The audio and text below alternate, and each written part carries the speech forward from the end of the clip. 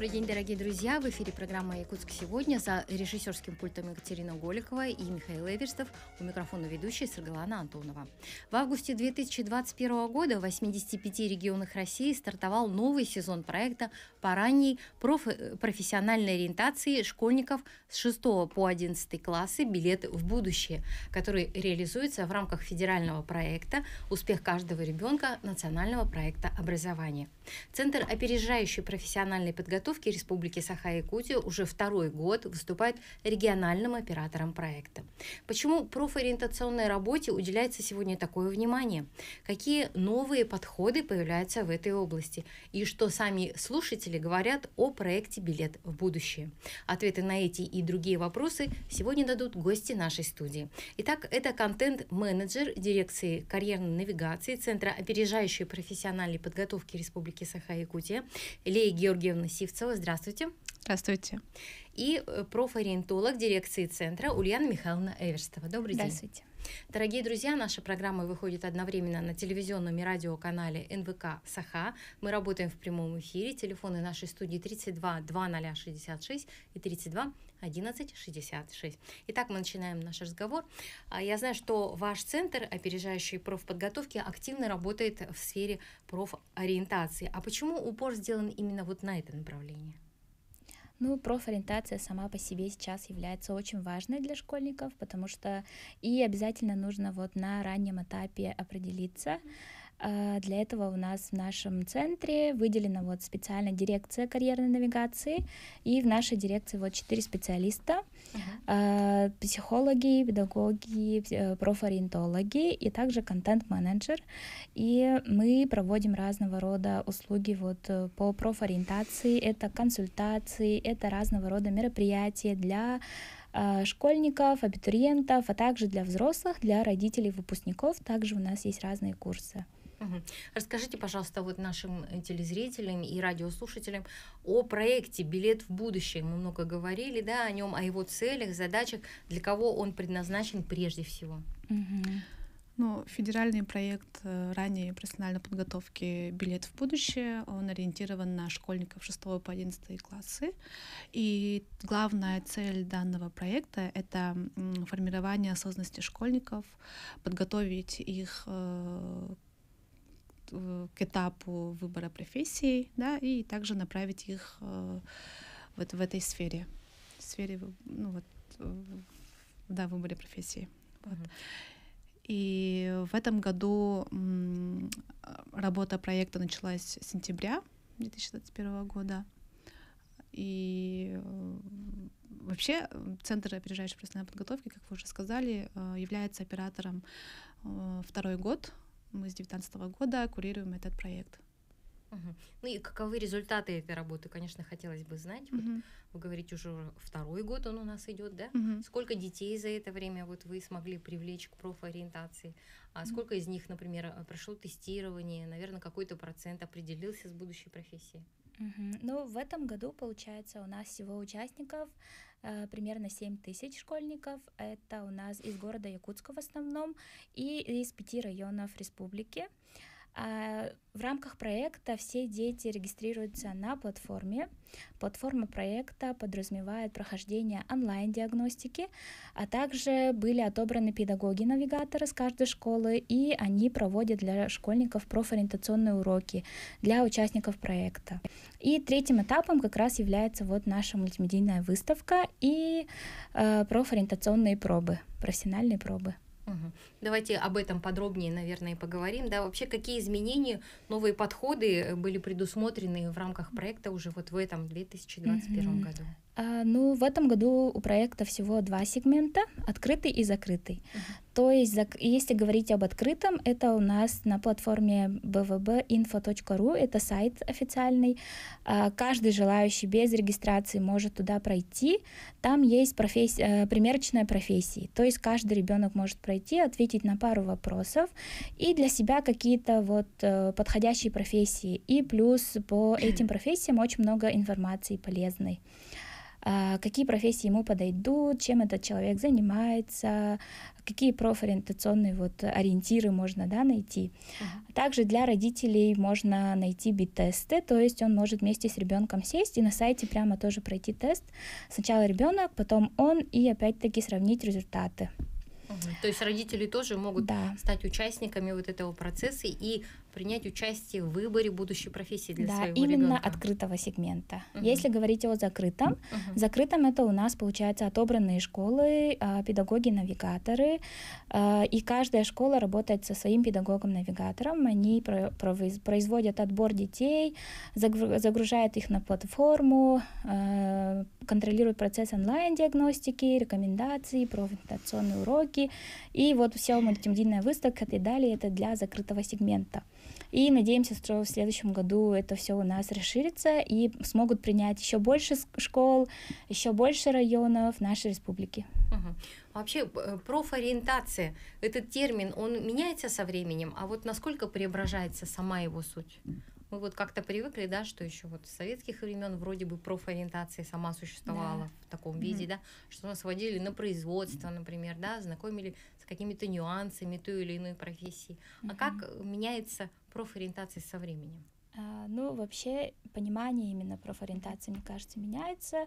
И сейчас важно молодежи, вот школьникам, да, пробовать э, сразу вот какие-то маленькие тесты устраивать для себя, пробовать профессии, и, и каждый сейчас владеет информацией, очень много информации, очень много информации о разных колледжах, об уровнях образования, информированность на высоком уровне. Но между тем все равно у школьников остаются вопросы, и как раз-таки профориентологи сейчас э, работают над тем, чтобы помогать определиться детям вот с их множественными вопросами uh-huh. про профориентации. Uh-huh. Ну а как не запутаться вот в этом потоке информации, который окружает наших детей, да, потому что новых профессий очень много, соответственно и вопросов, я думаю, не меньше. Uh-huh. А, ну вот, э, например, по проекту, в рамках проекта тест разработан Центром гуманитарного тестирования МГУ, uh-huh. то есть это прям очень продуманный тест, а, если дети пройдут его, они смогут определить свои интересы, а, в каком направлении у них больше интерес, какие у них сильные стороны, какие у них способности, а также личностная особенность. На основе этого программа, платформа выдает им рекомендации. И вот по рекомендациям они могут развивать какие-то свои способности, интересы, либо же э, по своему желанию, по своим вот интересам выбрать. Очень много разных возможностей. Угу. Ну, ваш проект рассчитан, как мы видели, да, на школьников с 6 по 11 класс. Угу. А вообще, вот на ваш взгляд, как вы думаете, с какого возраста нужно работать над определением будущей профессии? Может быть, это должно начинаться несколько раньше, либо это вот оптимальный возраст, шестой класс? Да. Ну, все равно говорят э, специалисты, что нужно постепенно э, знакомить детей с, с миром профессий. Можно начинать и с начальной школы, uh-huh. даже с детского э, сада, да, учитывая особенности возраста ребенка, да, можно вот знакомить вот в такой легкой форме. А уже как-то уже более углубленно надо уже вот шестого класса где уже формируется личность ребенка. Угу. Но у вас, наверное, все-таки дифференцированный подход. То есть да. а, то, что подходит школьникам, например, шестого, седьмого класса, да. уже не годится тем, кто например, учатся э, в 10 в 11 классе. Там mm-hmm. у них еще бывают другие запросы, да, mm-hmm. именно а, уже вот э, актуальные, свежие данные по поступлению, да, вот, потому что правила поступления с каждый год меняются, вводятся нововведения, да, и поэтому, чтобы быть в курсе событий, надо вот а, прибегнуть э, к помощи профориентолога. Угу. А вот дезориентированность, может быть, даже какая-то потерянность выпускников на рынке профессий и труда. А, вот вы согласитесь, что это общая проблема для наших школ, для родителей, вот для самих детей. Вот что делать, чтобы не быть таким потерянным все-таки? Ну, опять же, вот информированность, которая mm-hmm. вроде бы как бы кажется полезной, с другой стороны, играет тоже не очень хорошую роль, потому что эта же самая информированность им мешает определиться. Да. Я это умею, я это хочу. Очень много интересов сейчас у нынешней, у нынешних школьников, поэтому mm-hmm. важно вот найти Филь- подход, да. Фильтрацию делать информации, наверное, потому что в потоке информации Мгм. человек теряется, путается уже начинает, да, и поэтому лучше Учиться анализировать Да. вот полученные рекомендации. Мгм. развитие этого навыка, скажем так. Мгм. Ваши тесты помогают это сделать? Да. Провести такую фильтрацию, А. определить для себя направление какое-то, да? Важно не просто пройти тест, да, и получить ответ распечатанный, а именно вот проконсультироваться со специалистом, с профориентологом. Хорошо. А с какими еще проблемами сталкиваются нынешние школьники и абитуриенты при выборе будущей профессии? Вот мы сказали о том, что у них слишком большой поток информации, они теряются, да? да. У них слишком много интересов, мы сказали. Что еще?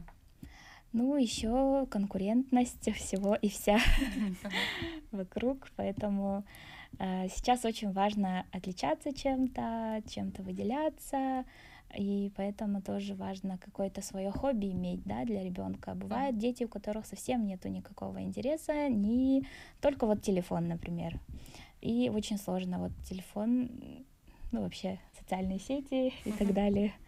Да. То есть общение иногда бывает заменяет э, Да. интерес к будущей Мгм. профессии, да?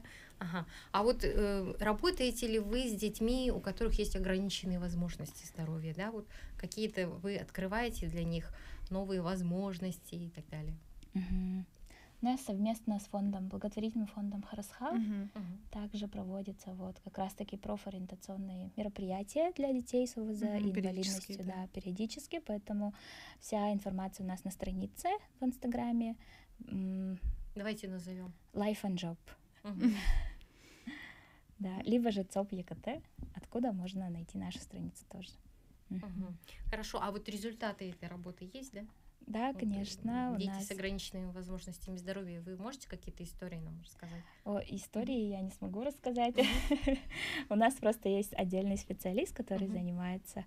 а, Это ее профиль как раз-таки, и поэтому мы Хорошо. сможем. ага. Мы знаем, что э, в этом году в рамках проекта «Педагоги республики» прошли обучение да, на Мгм. педагогов-навигаторов. Вот в чем была такая необходимость и вообще что это дает в работе? Ну, се- в этом году особенностью как раз является вот очень такая обширная, объемная вот работа с педагогами-навигаторами. Это новое понятие для всех нас, и это люди, которые занимаются профориентационной деятельностью в школах города и районов, и как раз-таки э, провели вот э, курсы повышения Мгм, квалификации мгм. для них. Хорошо, что дали эти курсы, о чем они были, чему они научились, об этом мы поговорим в следующей части нашей программы, дорогие друзья. Сейчас мы прервемся на небольшую рекламную паузу, после чего вновь продолжим наш разговор. Не переключайтесь, оставайтесь с нами.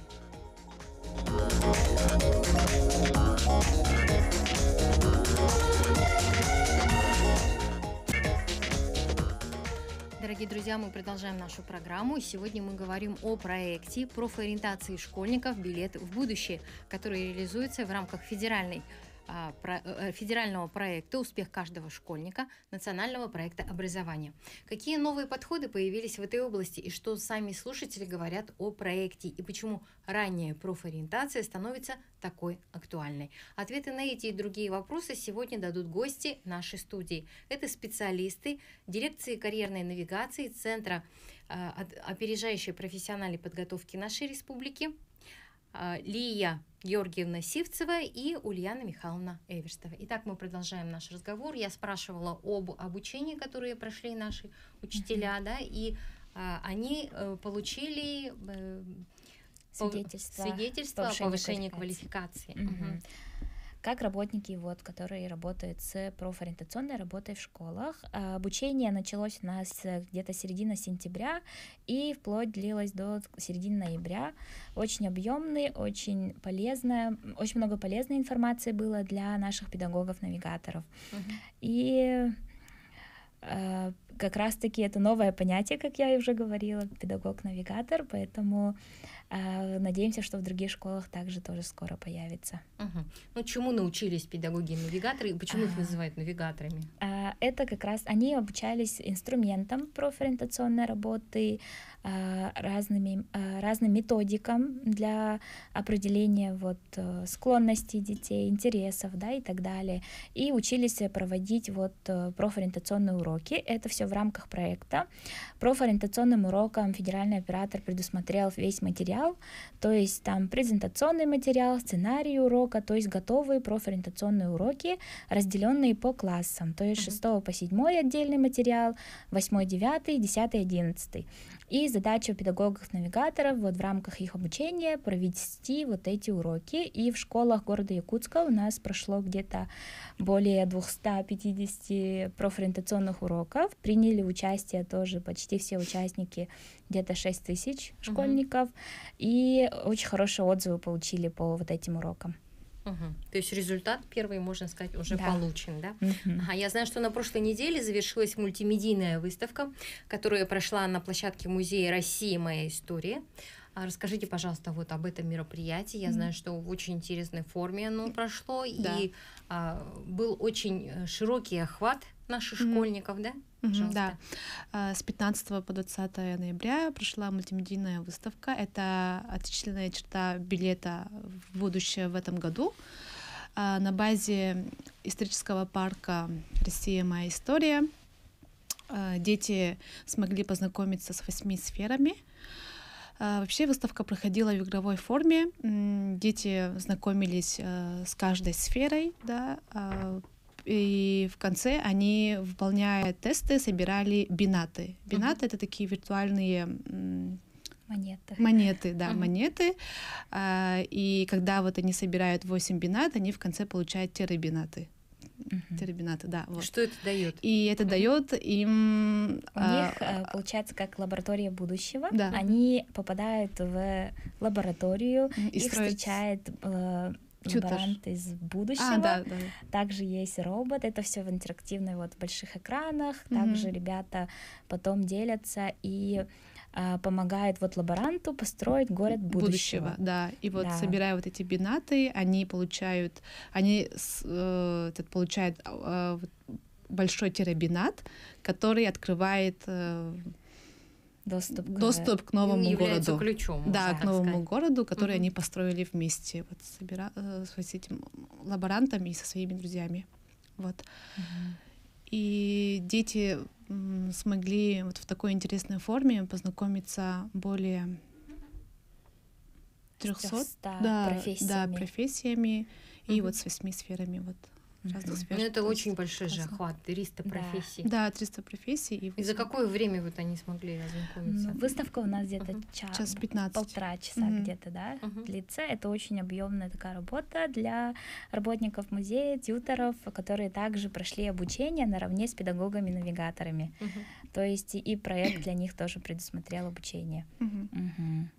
Ну и, конечно, хотелось бы знать мнение. Вот э, вы же видели, как э, ребята пришли на это мероприятие, да, с каким настроением они, например, приступали да. к выполнению определенных заданий, mm. да, и что они получили в конце. Вот ну, вообще, главное. там атмосфера такая классная а, в, в музее, вот эти большие экраны со всех сторон, да, и тач-панели. Да, тач-панели, вот это все как бы Но создает такую атмосферу будущего. Это только первый mm-hmm. э, шаг, первый этап э, всего мероприятия. Второй этап это у нас э, профессиональные пробы. То есть каждый ученик прошел по две профессиональные пробы. Первая проба от федерального оператора по социальному предпринимательству. Дети получали кейсы, задания, по которым они создавали свои проекты и там же на месте защищали их. Угу.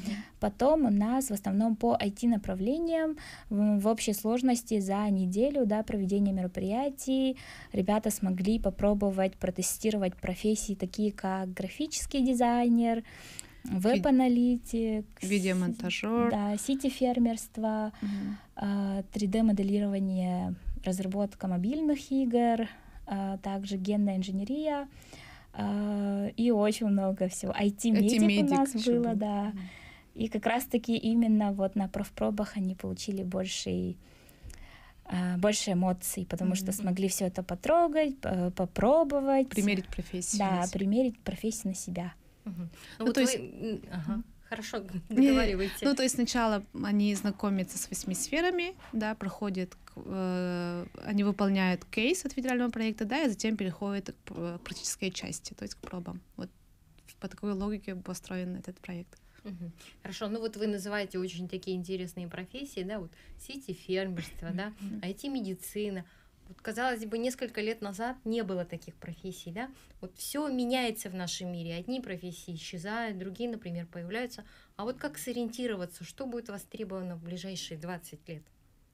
А, ну вот как раз для этого проект и создан, потому что знакомит детей а, заранее с профессиями будущего, потому что дети не должны ограничиваться профессиями, которые сейчас есть.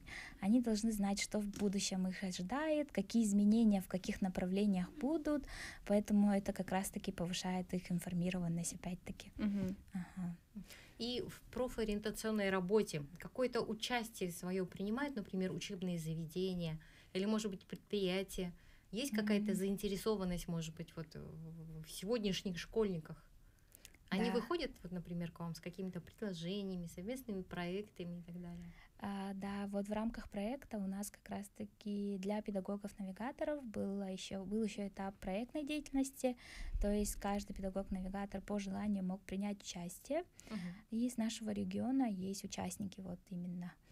А всего же у нас 85 регионов по России принимают участие, но мультимедийная выставка прошла только в тех городах, у которых э, есть такие парки. Угу. Есть а, такие возможности. А, вот у нас 23 или 24 субъекта всего с угу. музеями, историческими парками Россия моя история. Угу. Ну, то есть примерно треть участников, да? да? Поэтому это смогла очень реализовать вот такой возможность, проект. Да. Ага. А что сами ребята вот говорят, пройдя уже, например, определенные этапы этой а, выставки?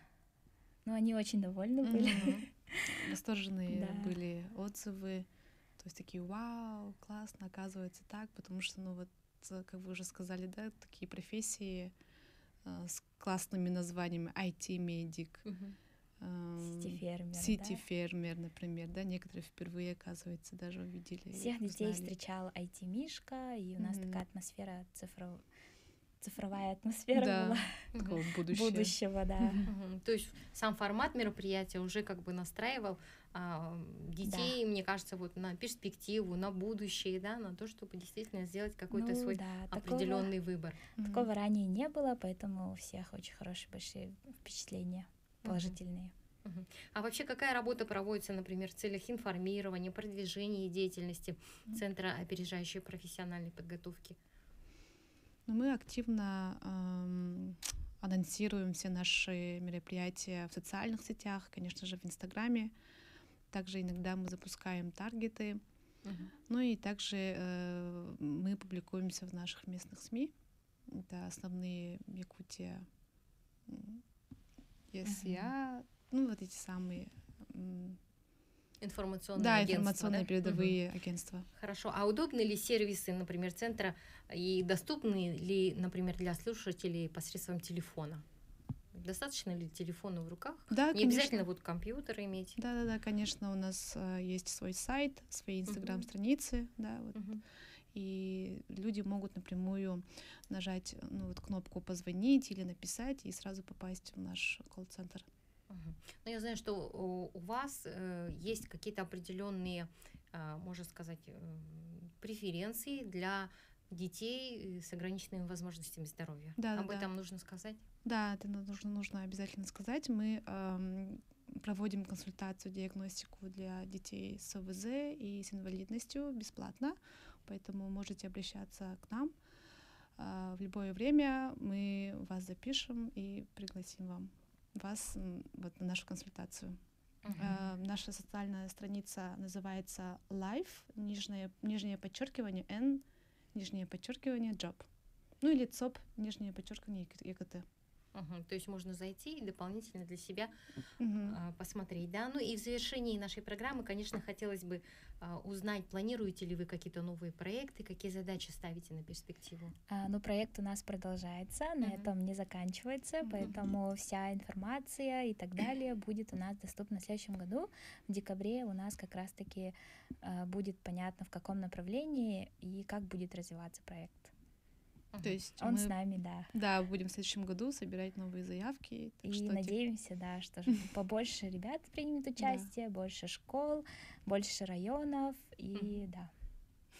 Хорошо, спасибо. Ну что же, дорогие друзья, сегодня мы говорили о работе э, дирекции карьерной навигации Центра опережающей профессиональной подготовки нашей республики. Говорили о выборе будущей профессии.